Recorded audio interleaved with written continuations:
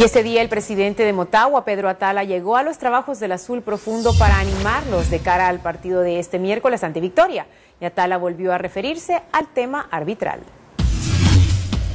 Los mismos jugadores de Olimpia dicen que ni ellos, que estaban a un metro, que Lozano fue el último que cabeceó la bola, pudo determinar si la bola entró ¿Cómo va a decir el Ayman que está a 40 metros de, la, de, la, línea? Así se refirió el presidente del Motagua, Pedro Atala, sobre los argumentos de la comisión de arbitraje, quienes le dieron el beneficio de la duda al árbitro asistente Denis Mazariegos sobre el gol que causó polémica en el clásico. Y agrega el siguiente llamado. Yo más que a los árbitros eh, llamados a la federación.